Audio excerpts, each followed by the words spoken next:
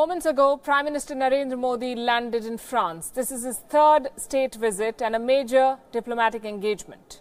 It's a two day bilateral visit ahead of the G7 summit, and that too will be held in France, the G7 summit. But Mr. Modi has a busy schedule for the next few days. He will visit three countries in four days. Today he's in France, just landed a few moments back. Here he'll hold bilateral meetings with French President Emmanuel Macron. Later he will hold an interaction with the Indian community. The Prime Minister will also dedicate a memorial for the Indian victims of the two Air India crashes that happened in France during the 1960s and 70s. On Friday, he will visit the United Arab Emirates where he will meet with Crown Prince of Abu Dhabi, Sheikh Mohammed bin Zayed Al Nahyan.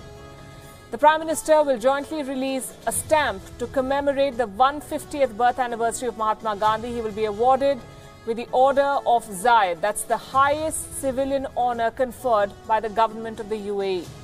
On Saturday, he will travel to Bahrain. This will be the first visit to the Kingdom of Bahrain by any Indian Prime Minister. There, Mr. Modi will hold bilateral talks with Prime Minister Khalifa bin Salman Al Khalifa. Mr. Modi will return to France on Sunday, where he will participate in the G7 summit in Biarritz.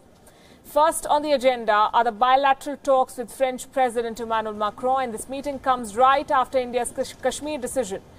Recently, French diplomats at the United Nations had sided with India, as recently as last week when India, when Pakistan in fact tried to raise the Kashmir issue at the Security Council, France backed India's stand. It happened at the informal session. France is a veto wielding member of the Security Council. It has called for a bilateral resolution to the Kashmir dispute. Ahead of Prime Minister Modi's visit, the French foreign minister dialed his counterpart in Pakistan.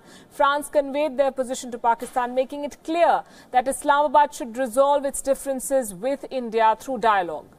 Mr. Modi and Mr. Macron will review the entire gamut of bilateral issues. They're expected to discuss the delivery of Rafale aircraft, sign a new roadmap on cyber security and digital cooperation, and possibly a pact on maritime surveillance. So, a lot on the table.